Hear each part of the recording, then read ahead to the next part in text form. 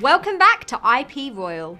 We already covered a lot in terms of different proxy types, and today is time to shine some light on static proxies.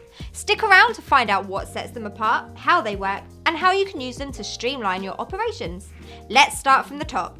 Unlike dynamic or rotating proxies that cycle between different IP addresses as needed, static proxies use a single IP that remains unchanged.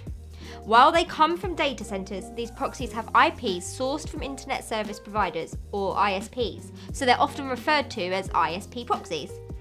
This combination has several benefits. Static proxies offer excellent connection speeds without compromising anonymity at great prices, and thanks to their data center origin, they're extremely reliable too.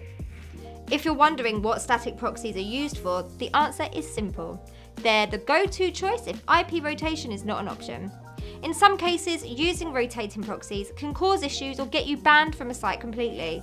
Think of social media, e-commerce or any other website that requires you to log in. With an IP address that never changes, you can take your time and safely perform your tasks without having to log in again. Static proxies are also dedicated in most cases, and this is essential in situations where you need to ensure your IP isn't shared with other users. Your static proxy is available only to you, so you don't have to share bandwidth. But more importantly, you don't have to worry about someone else using the same IP address for any questionable activity. So, we already established they're great for social media management and e commerce. On top of that, you can also use them for web scraping, market research, SEO, and similar use cases.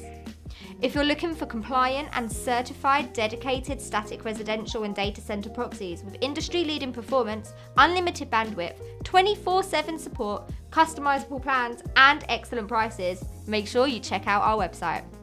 Thanks for watching. If you learned something new, leave us a like. Make sure you subscribe and click the bell icon so you're always the first to know when we publish new content. In the meantime, check out our previous video on key differences between static dedicated and rotating residential proxies.